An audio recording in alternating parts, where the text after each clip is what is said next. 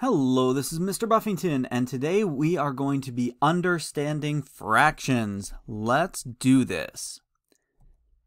One of the most common things I hear when talking about fractions is this. I hate fractions. I don't understand fractions. I don't like fractions. Why are we using fractions?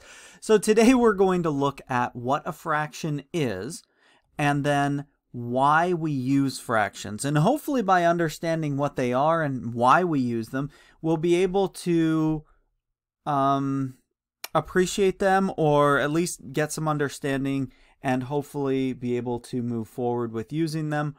Um, and having said that, I just went ahead and made these text boxes into a fraction. Ha ha ha ha ha. Let's look at fractions our first fraction, first of all, I want to define what uh, the parts of a fraction are. Um, first off, the number in the top is called the numerator, also known as the part. And the denominator is the number in the bottom, which is also, it's sometimes called the whole. So it's a part out of a whole. And then that line right there that divides them is called a fraction bar. What a fraction looks like, if we take this fraction of 1 half, it means 1 out of 2, or 1 part out of a total of 2. In a visual way, it would look like this. One shaded section out of two sections. So one of them is that kind of um, orange-yellow color. Um, that is one out of the two. So if I gave you this picture over here, how would we write that as a fraction? Did you write one out of three? There's one out of three that are that, again, orange color. If you were looking at the white, then it would be two out of three of them are white, but we're just looking at the shaded region, so we'll say one out of three. Let's do a little bit of practice with this, just to get the idea of what a fraction is. So look at this bar here of five squares. How would you write that as a fraction? That'd be 2 out of 5, right? Two of them are shaded out of 5.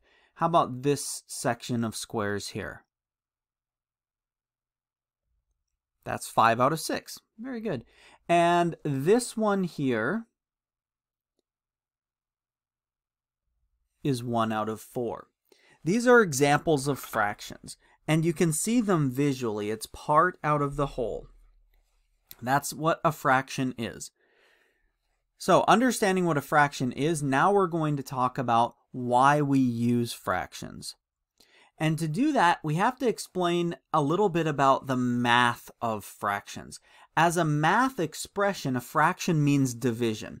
So in this example that we've used before, 1 half, it means 1 divided by 2. And if you think about it for a little bit, why didn't we just write it as a division symbol, you know, using that symbol?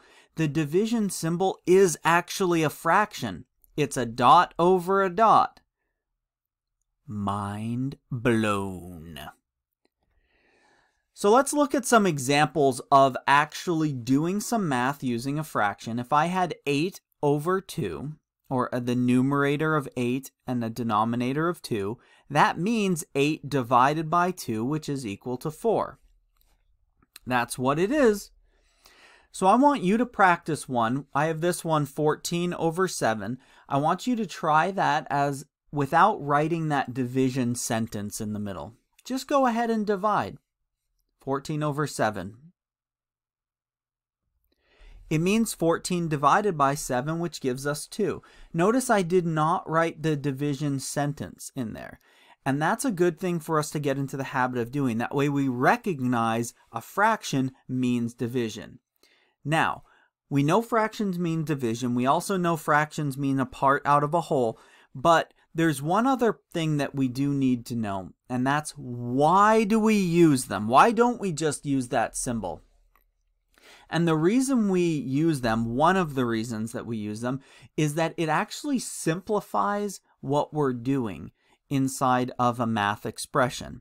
So here's an example, 14 times 3 over 1 plus 6.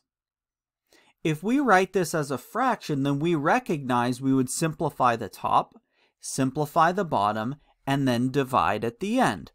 Fine. the way we'd have to write that as an expression would look like this. 14 times 3 divide the quantity of 14 times 3 divided by the quantity of 1 plus 6. Now, we could simplify this a little bit and get rid of um, some of those parentheses, maybe the outside block. No, we would have to... Anyway, it, it just makes it a little bit more complicated. And then we have to debate, like, do we actually need this set of parentheses or this set of parentheses? And sometimes people get really confused with parentheses. And then, moving forward one more step, when we start introducing variables or letters into a mathematical expressions, it you really need a fraction because the need for it becomes magnified. And the, the possibilities of what you can do with, with them um, kind of increases. So I want you to take a look at this, and this is a pretty big math expression and I want you to tell me which one looks more simplified. I have this one where you would look at the numerator, 7 times 4 plus 2, simplify that. And then you have your denominator, 12 minus 3 times 2, and you would simplify that, and then you would divide. To write this out as just a, a statement, all written out in one line, it would look like this. Or it could be simplified a little bit down to being that because multiplication does get done before addition or subtraction. So if you know your order of operations, you could write it like this to make it a little bit more simplified. But again, to me, writing it as a fraction makes it a little bit more obvious what exactly you need to do in each step. Looking ahead, one other thing that I want to mention with fractions, and I need to emphasize that this overview is, it might seem a little bit complicated, and I want to try and keep it as simple as possible. So I'm not going to get into this very much, but I do want to mention that fractions are used in another way. Moving forward, you'll also use fractions as a way to compare numbers. And, and that may seem complicated, but it's it's not bad if you understand fractions and you work to to understand what they mean and how they work. And this comparison is often called a ratio. So if you've worked with ratios before, then again, this might be something you've seen. But just trust me that understanding fractions now and working with them and becoming comfortable with them will help you a lot moving forward. And we've talked about that in a couple of different ways. So again, that's just another reason that we use fractions or another way that we use them is with something called ratios. So we talked about a fraction being a part of a whole. We also said that fractions mean division. And then we use fractions to simplify expressions, to simplify equations, to make things look a little bit easier. So hopefully that lesson has helped you to understand fractions a little bit more and I hope it was helpful for you. Have a wonderful day.